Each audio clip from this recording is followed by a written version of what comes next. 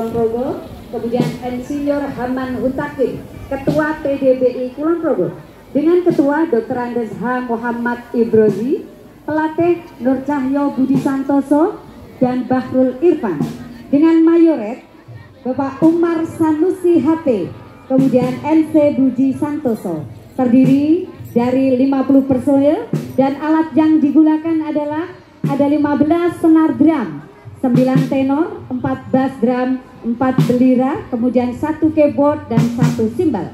Lagu yang akan dibawakan adalah Panggilan Jihad dan Stambul Caca. Pembawa banner dua personel, pembawa bendera tiga personel, dokumentasi satu personel dan perlengkapan tiga personel komplit plet.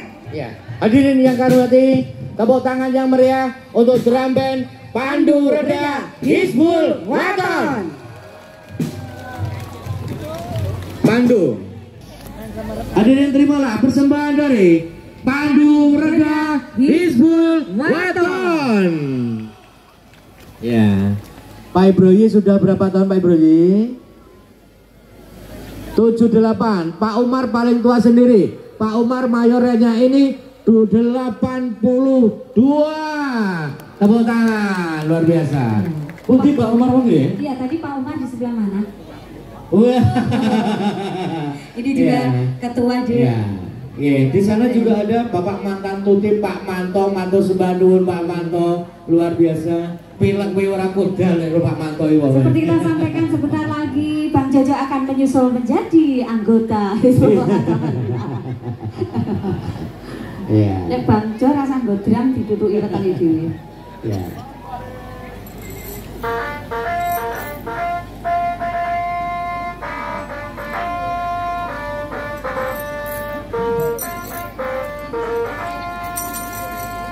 Tepuk tangannya mana untuk Awe?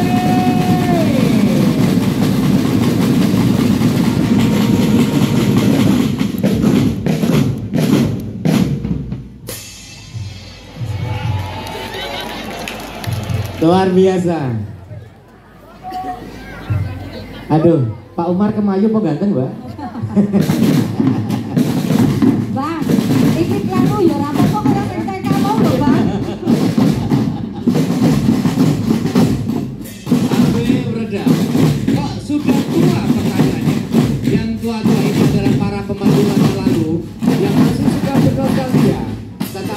personal tempat mendapat kehormatan. Sebagai pelajar nasional pramuka antara lain Rahmat Muhammad Ibrahim, Rahmat Jalan Tugas di SMP 4 dan Ibunda, tetapi terakhir bertugas di SMP di Satuan. Muhammad Ibrahim dan Komunitas Kiripan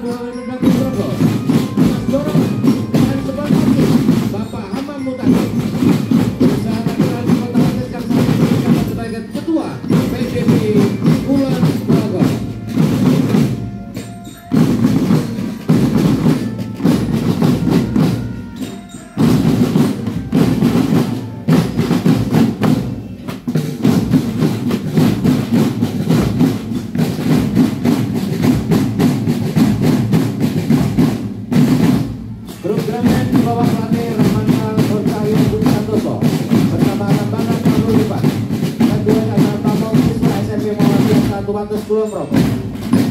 Pandu HW Perteka.